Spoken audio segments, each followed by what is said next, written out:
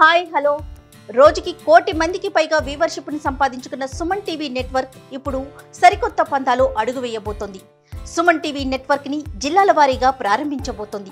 Franchises కోసం ఆసక్తి కలిగిన వారు క్రింది నెంబర్ని సంప్రదించగలరు. నమస్తే రమ్ గారు. నమస్తే జయ. రమ్ గారు కొన్ని డిఫికల్ట్ క్వశ్చన్స్ మీ దగ్గర అడుగుతాను. ఇప్పుడు వాళ్ళు నేను నన్ను తిట్టొద్దే. ముందుగానే చెప్తున్నాను. కొంతమంది అంటే మన మామ్ వీడియోస్లో కాదనుకుంటాను. మనం నేను లైఫ్ కూడా మనం చేస్తాం కదా. కొన్ని చోట్ల కొన్ని కామెంట్స్ వచ్చినాయి అనమాట గుడ్ వైఫ్గా ఉండాలంటే ఎలా ఉండాలి? హౌస్ వైఫ్గా గుడ్ హస్బెండ్ అంటే ఏంటి? ఈ రెండింటికి క్వాలిటీస్ ఎవ- ఎవరు గుడ్ వైఫ్ ఎవరు గుడ్ హస్బెండ్ మనం ఎలా తెలుసుకోవాలి? సో క్వశ్చన్స్ చూడగానే రమ్మగారు కనిపించారు నాకు. నన్ను కూడా కొంతమంది అలా అడుగుతుంటారు అడుగుతారా? అడుగుతారు. అంటే తెలివిగా ఉండాలంటే ఏం చేయాలి? ఎలా చేయాలి? పొదుపు చేయటం గురించి చెప్పండి. అలాంటి కొన్ని మెసేజ్లు వస్తాయి. నాకు ఫోన్లు చేసే వాళ్ళు కొద్ది కొద్ది మందికి నేను దొరికేస్తాను కదా. దొరికిన వాళ్ళు మా అత్తగారితో సమస్య లేదా మా హస్బెండ్తో సమస్య లేదా పిల్లలతోటి ఇట్లా ఉంది వీళ్ళని హ్యాండిల్ చేయలేకపోతున్నాము వీళ్ళతో ఇలా ఉండలేకపోతున్నాము ఏం చేయాలి? ఏదైనా మీరు ఒక వీడియో చేయండి దాని మీద నేను అనుకుంటాను గుడ్ అంటే ఎప్పుడు మన దగ్గర ఉన్నది మనకి గుడ్గా తోచదు. లోక సహజంగా. మనం మనది చాలా బాగుందని అనుకో మనం ఎదుర్కొంటే వాళ్ళది చాలా బాగున్నట్టు తోస్తూ ఉంటుంది. ఇప్పుడు మన హస్బెండ్ ఒక ఇంట్లో ఇద్దరు రెండు జంటల గురించి మాట్లాడతాం. ఒక ఇంట్లో ఒక అతను కొంచెం సుమారుగా అంటి ముట్టినట్టు ఉంటాడు. ఏం పెద్ద పని పాటల్లో పాలు పంచుకోడు. ఏం పాలు పంచుకోడు. ఆయన కొంచెం అంటి ముట్టినట్టు ఉంటాడు. ఆవిడే బజార్లు తిరిగి సామాన్లు తెచ్చుకుంటుంది. ఆవిడే ఇల్లు బాగులు తనకు కావాల్సినట్టుగా సర్దుకుంటుంది. ఇంట్లోకి వస్తువులు తనే తెస్తుంది. పిల్లల స్కూల్ని తనే హ్యాండిల్ చేస్తుంది. ఆయన డబ్బులు ఇస్తాడు కానీ పెద్దగా కల్పించుకోడు. అంటి ముట్టినట్టు ఉంటాడు. ఎదురింట్లో ఒక అతను భార్యాభర్తలు. అతను చాలా పని చేస్తాడు. భార్యకి చక్కగా డ్రెస్సులు గిసులు సెలెక్ట్ చేసేస్తాడు. ఆ బజార్లు తీసుకెళ్తాడు. స్కూల్కి భార్యతో కలిసి పిల్లలు స్కూల్కి వెళ్ళి అతను కూడా మాట్లాడతాడు. వాళ్ళిద్దరూ చాలా సాయిదా ఫాయిదాగా కలిసి ఉన్నట్టుగా జనరల్గా తెలుస్తూ ఉంటుంది. ఇప్పుడు వీళ్ళిద్దరు అమ్మాయిలిద్దరూ మాట్లాడుకున్నారు అనుకోండి మీరు ప్రతి వాళ్ళు ప్రతి వ్య- ఆడపిల్ల ప్రతి స్త్రీ ఈ రెండు క్యారెక్టర్లలో ఎవరిని వాళ్ళని ఎవరు ఎవరిని చూసుకుంటారో చూసుకోండి. ఈ హస్బెండ్ సహాయం చేయకుండా ఉన్న అమ్మాయికేమో ఎదురుగుండా ఇంటి వాళ్ళు బాగున్నారని తోస్తుంది. ఎందుకంటే తనకు ఒంట్లో బాగుండకపోయినా తనకి విసుగ్గా ఉన్నా తను ఏ పీరియడ్స్లోనో చికాకులోనో ఉన్నా ఈ హస్బెండ్ ఏ పని చేయడు. ఏ సహాయము చేయడు. డబ్బు పడిస్తే సరిపోయిందా? డబ్బులు ఇస్తే సరిపోతుందా? చాలదు ఓ చాలదు కదా. ఓ ఫ్రెండ్లీగా ఉండడు అంటి ముట్టనట్టు ఉంటాడు. అన్ని చావులు నేనే చావాలి. అన్ని పనులు నేనే చేయాలా అని ఈ అమ్మాయికి అనిపిస్తుంది పని చేసే అమ్మాయికి. భర్తతో కలిసి ఉండే అమ్మాయికి నా బతుక్కి ప్రైవసీ లేదు ఎప్పుడు ఇతను నాతోటే ఉంటాడు. హాయిగా వాళ్ళ ఆయన అయితే ఆ అమ్మాయిని తందాన ఇప్పుడు భార్య భర్త ఇద్దరు షాప్కి వెళ్తారు. ఈ అమ్మాయికి గ్రీన్ ఇష్టం. ఈ అమ్మాయికి లీఫ్ గ్రీన్ ఇష్టం అతనికి ఆలివ్ గ్రీన్ నచ్చింది. ఆ లీఫ్ గ్రీన్ మీద మనసున్న భర్త కోసం చచ్చినట్టు ఆలివ్ గ్రీన్ తీసుకోవాల్సి వస్తుంది. తీసుకోవాల్సి వస్తుంది. నా ఛాయిస్ లేదు ఎప్పుడు వీడిదే ఛాయిస్ అనిపిస్తుంది. బయటికి చెప్పకపోయినా ఈ భావాలు ఉంటాయి లోపల. లోక సహజంగా మన దగ్గరున్న వస్తువు మనని సాటిస్ఫై చెయ్యదు. మనుషులు కూడా అంతే. నేను వస్తువు అంటే భర్తలు వస్తువులా అని మీరంతా ధ్వజం ఎత్తితే నేను చెప్పలేనమ్మా. ఎప్పుడు కూడా స్త్రీలు పురుషుల్ని సాటిస్ఫై చేయలేరు. పురుషులు కూడా స్త్రీలని ఈ రకమైన సాటిస్ఫాక్షన్స్ చాలా కష్టసాధ్యమైనవి. ఇప్పుడు మన మన దగ్గర ఉన్న దాంతో మనం సాటిస్ఫై అవ్వటం ఎట్లా? లేదా బెటర్ చేసుకోవటం ఎట్లా? ఓకే ఇప్పుడు good house wife good husband గురించి చెప్తున్నాం. క్వాలిటీస్ ఏం లేదు జయ. ఈ రోజుల్లో పాతకాలపు రోజులు వేరు. పాతకాలంలో ఇల్లు బాగా చక్కదిద్దుకునేది ఆడది సరైన స్త్రీ కింద. చదువు చక్కదిద్దుకునే అమ్మాయి మంచి సరైన స్త్రీ కింద. అక్కడి నుంచి చక్కగా మా బాగా సంపాదించి భార్యని పిల్లల్ని సంతోష పెట్టేవాడు సరైన. హస్బెండ్గా చేసేవాళ్ళం. బయట ప్రపంచం చెప్పుకోవటమే. ఇప్పుడు వాళ్ళల్లో వాళ్ళకి ఎన్ని డిఫరెన్సెస్ ఉన్నాయి వాళ్ళు ఎంత బాధపడుతున్నారు ఒకళ్ళతో ఒకళ్ళు అనేది వాళ్ళకే తెలుస్తుంది కానీ ఇతరులకి తెలియదు. ఇంకొకళ్ళకి తెలిసే అవకాశం లేదు. వాళ్ళై నోరు విడిచి చెప్పుకుంటే తప్ప. ఇప్పుడు ఇదివరకు ఇట్లా చెప్పుకునేందుకు పాపం అవకాశాలు ఉండేవి కాదు. మగవాళ్ళు ఓపెన్గా ఇలాంటి విషయాలు మాట్లాడడానికి మొహమాట పడేవాళ్ళు. మా ఆవిడతో నాకు సాటిస్ఫాక్షన్ లేదు. ఆ అమ్మాయికి ఏం పని రాదు లేదా ఆవిడ మంట బాగుండదు తెల్లకి వస్తున్నాను అలాంటి చెప్పేవాళ్ళు కాదు. కదా? స్త్రీ ఆడవాళ్ళకి విపరీతంగా పనులు ఉండేవి. ఇల్లా జల్ల పనివాళ్ళు తక్కువ ఉండేవాళ్ళు. చాలా పనులు. పప్పు రుక్కుంటే కానీ కష్టపడి సాయంత్రానికి టిఫిన్ రాదు. అవును. పొయ్యలు వెలిగించుకుంటే కానీ వంట కుదరదు. ఎంత పని? ఈ పనులతో సతమతమయ్యి పైగా ఆ, లెక్కలేని సంతానం కూడా ఒకటి ఉండేది. ఈ సంతానాలతోటి పిల్లలు పెద్ద పిల్లల పురుళ్ళు చిన్న పిల్లల పెళ్ళిళ్ళు పసిపిల్లల ఆలనా పాలన నానా పనులు ఉండేవి. ఏదైనా ఉక్రోషం వస్తే ఈ అమ్మ దగ్గర తోడుకోవడం దగ్గర వెళ్ళబోసుకుని తర్వాత మళ్ళీ పనిలో పడేవాళ్ళు. వెళ్ళబోసుకుంటూ కూర్చుంటే రోజులు గడ పని చేసుకోవాలి కదా. చేసుకోవాలి కదా. ఇప్పుడు మనకి వెళ్ళబోసుకునేందుకు చెప్పుకునేందుకు మాట్లాడేందుకు చాలా ఉన్నాయి. అవును. ఎన్ని అవకాశాలు ఉన్నాయి. మగ పిల్లలు కూడా ఈ అమ్మాయితోటి చాలా ఇబ్బందిగా ఉందనే విషయాన్ని ఓపెన్గా మాట్లాడడం మొదలు పెట్టేశారు మగవాళ్ళు చెప్పుకుంటున్నారు. ఎవరికి చెప్తారు అమ్మగారు? వాళ్ళ ఫ్రెండ్స్కి వాళ్ళ ఫ్రెండ్స్ నేను చెప్తారు. అనుకుంటాను ఆడపిల్లలే అక్క చెల్లెలకో అమ్మకో లేకపోతే ఫ్రెండ్స్ కో చెప్పుకుంటారు. మగ పిల్లలు అంత ఎక్స్ప్రెస్ ఆడవాళ్ళు ఎక్కువ మందికి చెప్తారు ఒకే విషయాన్ని. మగవాళ్ళు తక్కువ మందికి చెప్పని డెఫినెట్గా చెప్తున్నారు. ఫ్రెండ్స్కి కొలీగ్స్కి షేర్ చేస్తారు. చేయకుండా ఉండట్లేదు. ఈ డిసాటిస్ఫైడ్ కొట్టుకుంటున్నారు. పోట్లాడుకోవటం కూడా ఎక్కువ ఉంది కదా. పోట్లాడుకునే. స్ట్రెస్ వల్ల ఎక్కువ పోట్లాడుకుంటూ ఉంటారు. ఇప్పుడు ఈ రోజులకి ఒకళ్ళనొకళ్ళు ఇబ్బంది పెట్టకుండా ఉండేవాళ్ళు. Good housewife good husband okay ఇప్పుడు అతను బాగా బిజీగా ఉన్నాడు. అమ్మాయి కొద్దిగా స్వతంత్రించి నాలుగు పనులు చేయటం నేర్చుకుంటే గుడ్ హౌస్ వైఫ్ అవ్వగలుగుతుంది. ఉమ్. నీ పరిధిలో నీకున్న అవకాశాన్ని బట్టి నీకున్న డబ్బును బట్టి నీకున్న చదువుని బట్టి నీ రీచ్ని పెంచుకునే ప్రయత్నం చేయాలి.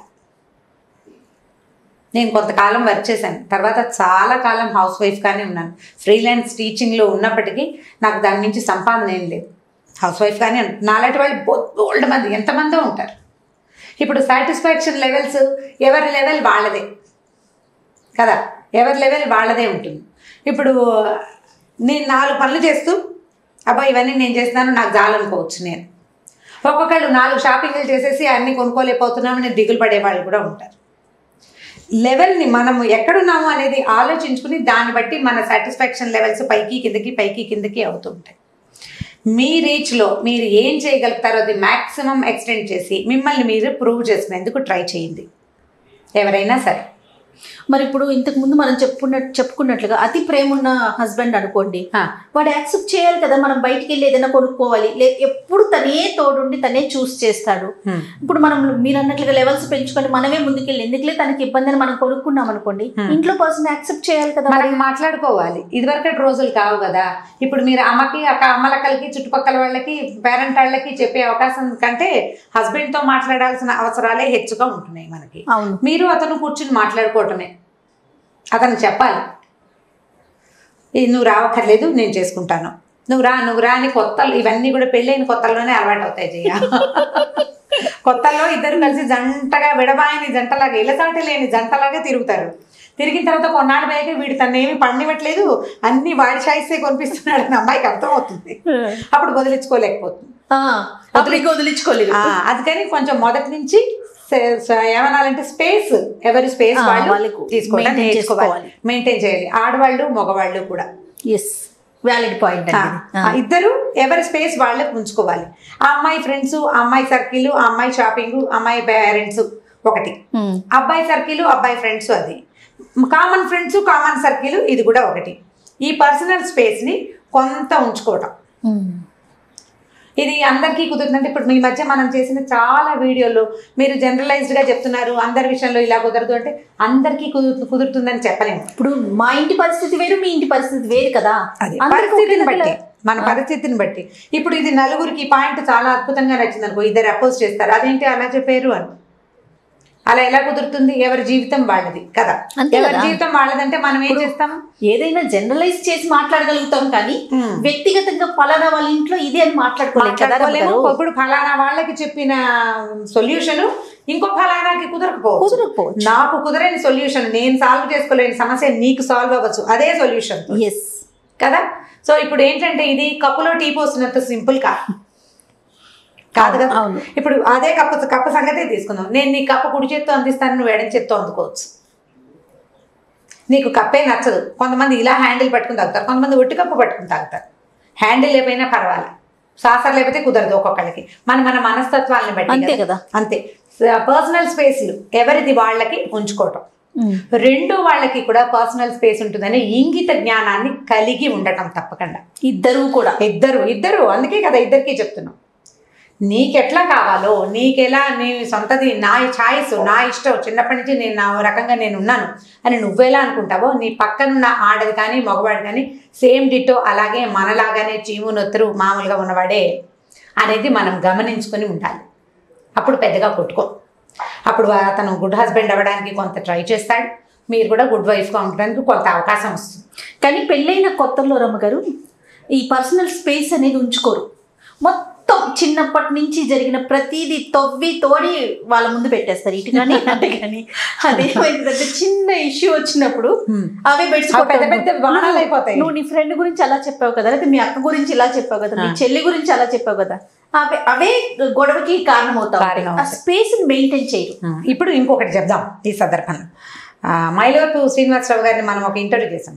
అప్పుడు నేను ఆయన అడిగాను విభీషణుడు ఇంటి గుట్టు చెప్పాడు కదా లంక గుట్టు అంటే ఎవరు చెప్పారమ్మా మీకు? విభీషణుడు చెప్పలేదు శూర్పణకి చెప్పిందని చెప్పి వాల్మీకి రామాయణంలో శూర్పణకే ఫలానాది మా ఇల్లు మా పెద్దన్నయ్య అలాంటి వాడు మా చిన్నన్నయ్య ఇలాంటి వాడు మా ఇంట్లో ఒక ధర్మపరుడు ఉన్నాడని క్లియర్గా లంకలో ఉన్న ధర్మపరుడు ఎవడు దుర్మార్గులు ఎవరు అని ఆవిడే స్పష్టంగా రాముల వారికి చెప్పింది. పూసగుచ్చింది. పూసగుచ్చింది. పూసగుచ్చినట్టు చెప్పేసింది. ఈ ఆడపిల్లలకి మగపిల్లలకి ఇప్పుడు మీ ఇద్దరు వైఫ్ అండ్ హస్బెండ్ కొత్తగా కలిసి ఉన్నారు. మిగిలిన వ్యవహారాలు ఎందుకు మాట్లాడతారు? రంజాన్ నాకు టెన్ ఇయర్స్ అయిపోయింది పెళ్ళి. పోనీ నీ సంగతి కాదు జనరల్గా ఓ భార్య భర్త నీ సంగతి చెప్పు. నీ ఇష్టాలు నీ ఇష్టాలు నువ్వు చూసిన ప్లేసెస్ నీకు నచ్చేది?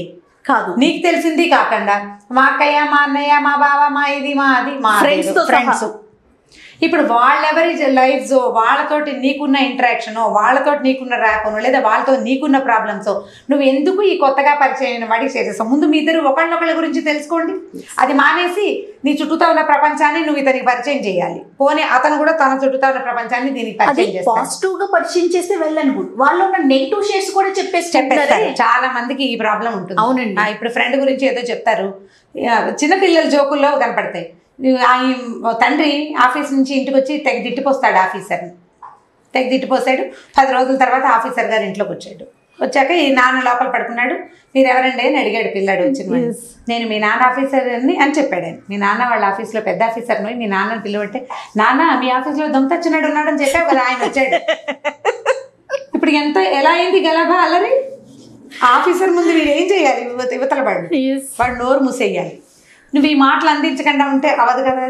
కాబట్టి తెలివిగా ప్రవర్తించండి. మీ స్పేస్ మీరు ఉంచుకోవాలంటే ఇది కొంత అవసరం. అక్కడి నుంచి మనం ఇదివరకు మాట్లాడాం దీని మీదే. ఒకళ్ళతో ఒకళ్ళు చాలా టైం స్పెండ్ చేయాలనే ధోరణి. నాతో బాగా స్పెండ్ చేయాలి. నాతో అన్ని విషయాలు చెప్పాలి. వీడి సంపాదన వాడి ఇది వాడి అది అవన్నీ నాకు తెలియాల్సిందే అని అనుకోవద్దు. స్లోగా తెలుసుకోండి. మీరు కూడా స్లోగా తెలియచేయండి. కొంత కంఫర్ట్ మీ ఇద్దరికి బాగా ఒకరికొకరు అలవాటు అయ్యాకే సొంత విషయాల్ని ఓపెన్ చేయటం తెలుసుకోండి.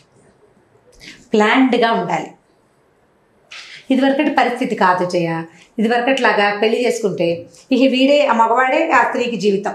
ఇక పుట్టిల్లు లేదు ఏమీ లేదు. ఆ వారితో పడి ఉండటమే. అది తప్పిస్తే ఇంకో దిక్కు లేదు. పాతకాలం రోజులు కదా. ఇప్పుడు అట్లా కాదు. వీళ్ళు ఇద్దరు మనుషులు. ఒక చోట కలిసి ఉండటానికి కలుస్తున్నారు. ఒకళ్ళతో ఒకళ్ళు కలిసి ఈ సంసార రథాన్ని ముందుకు తీసుకెళ్ళాలి.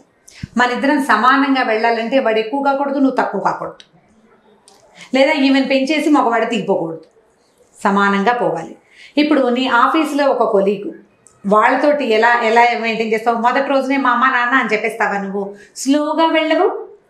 సేమ్ డిట్టో అదే పద్ధతిని మీరు ఫ్యామిలీస్లో కూడా ప్రాక్టీస్ చేయండి.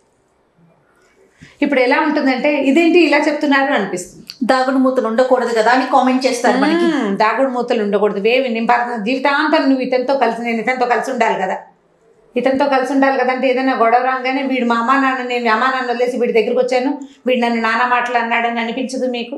జీవితాంతం వీడితో కలిసి ఉండాలి. వీడు ఏమన్నా పడదాం అనిపిస్తుందా? అనిపించట్లా? అనిపించట్లేదు. అనిపించట్లా? మన ఇద్దరం సమానం. నువ్వు నేను సమానం. ఆడ మగ సమానం. మన ఇద్దరం కలిసి ఫ్యామిలీని ముందుకు లీడ్ చేయాలి. అనం అని మనం భావిస్తున్నప్పుడు నీ స్పేస్ నువ్వు అతని స్పేస్ అతను ఖచ్చితంగా ఉంచుకోవాలి ప్లాన్డ్గా.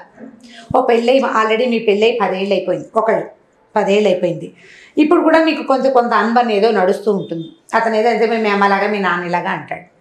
ఒకరోజు కూర్చోబెట్టి క్లియర్గా మాట్లాడాడు పది సంవత్సరాలు అయింది ఇంకా ఇప్పుడు కూడా నువ్వు ఈ ధోరణిలో ప్రవర్తిస్తే ఇది కుదరదు. పిల్లలు నేర్చుకుంటారు ఇది. కాబట్టి ఈ పంధా చేయొద్దు ఓపెన్గా పిల్లల ముందు చేయకూడదు. వేరే వాళ్ళ ముందు ఈ రకంగా చిన్నబుచ్చొద్దు నన్ను. వాడు ఒప్పుకోడు వాళ్ళు కొడతారు వాళ్ళు తిడతారు వాళ్ళు ఏదో అందరూ చెయ్యరు. కొంతమంది వినొచ్చు. మీరు ట్రై చేసి చూడండి. అందరూ ఒప్పుకోరు. నేను చెప్తాను నేను కూడా ఒప్పుకుంటాను ఆ మాట. అందరూ ఒప్పుకోరు. అసలు ఆ మాట వినడానికి కూడా ఇష్టపడరు. ఇష్టపడకపోతే మీరు కూడా ఇష్టపడకండి. సోషల్ బాయ్కట్ చేయడం ప్రాక్టీస్ చేయండి. కామ్గా ఉండండి నిశ్శబ్దంగా ఉండండి. పోట్లాడద్దు. కామ్గా ఉండండి. తగ్గినట్టు ఉండండి. తగ్గద్దు. తగ్గినట్టు ఉండండి. కొంత ట్రై చేస్తే మెల్లిగా కొంతమంది మీదైనా మనం అదుపుని సాధించగలుగుతాం. ఎంతో కొంత. ఇప్పుడు అదుపు అంటే వాడి నెత్తి మీద మనం ఎక్కేయమని కాదు మన నెత్తి మీద వాళ్ళని కూర్చోబెట్టుకోమని కాదు. సమానంగా పోవాలి కదా. మీరు చిన్నపుచ్చుకోకూడదు అవతల వాళ్ళు ఎక్కిపోకూడదు. ఇప్పుడు ఈ రెండు రకాలుగా చేయాలంటే నేనే కరెక్టు అనే భావన కనుక మీ దగ్గర ఉంటే దాన్ని తగ్గించుకోండి ఆడైనా మొగైనా. ఎప్పుడు ఏ మనిషి పర్ఫెక్ట్ కాదు మనుషులు పర్ఫెక్ట్గా ఉండరు. మనిషి అంటేనే పర్ఫెక్ట్గా లేకపోవటం. నిజంగా. అవును రమ్మ గారు. ఎందుకంటే భగవంతుడు కన్ను ముక్కు సేమ్ ఈక్వేషన్తో అందరికీ తయారు చేస్తాడా? చేయడు కదా. అలాగే మానవ మనస్తత్వాలు మన పెంపకాలను బట్టి మనం పెరిగిన వాతావరణాన్ని బట్టి మనం చూసిన ప్రపంచాన్ని బట్టి మన తాలూకు ప్రవర్తనలు ఉంటాయి. ఎక్కడ మనం తగ్గుతున్నాము ఎక్కడ మనం పొరపాటు చేస్తున్నాం మనం ఎక్కడ తగ్గాలి మనం ఎక్కడ కరెక్ట్ చేసుకోవాలి అనేది కనుక మీరు ఆలోచించడం మొదలు పెడితే ఆటోమేటిక్గా పర్ఫెక్షన్ వచ్చేస్తుంది. మీరేం ట్రై చేయక్కర్లా. పర్ఫెక్ట్ అవ్వడానికి మీరు చక్కగా రోజు పొద్దున్నే స్నానం చేసేసి ఎప్పుడు మంచి చీర కట్టుకుని సినిమాలలాగా సాయంకాలం అయ్యేసరికి ఫ్రెష్గా ఇల్లు నుంచి ఫ్రెష్గా పిల్లల నుంచి అవన్నీ చేయలేకపోతాం. మనసుని ఫ్రెష్ చేసుకోండి. నాది పొరపాటేమో నాదే తప్పేమో ఒకవేళ. నేనే ఈసారికి తగ్గితే ఎలా ఉంటుందో చూద్దాం అని ప్రాక్టీస్ కనుక స్త్రీ కానీ పురుషుడు కానీ ఫస్ట్ చేస్తే. మన వైపు నుంచి ఆలోచించాలి. మన వైపు మన తప్ప ఎంత ఉంది ఎస్ ఈ గొడవలో చాలా మంది ప్రాబ్లం ఏంటంటే మేము చాలా కరెక్ట్ మా అమ్మ మమ్మల్ని అలా పెంచింది అంటుంటారు. అమ్మలు పెంచేస్తున్నారా ఇప్పుడు? ఏం పెంచడం ప్రపంచం మనని పెంచుతుంది. మన ఐడియాలజీ అంతా ప్రపంచం నుంచి వస్తుంది. అమ్మలు పెంపకాలు ఏం లేవు. ఎవ్వరూ పర్ఫెక్ట్ కాదు.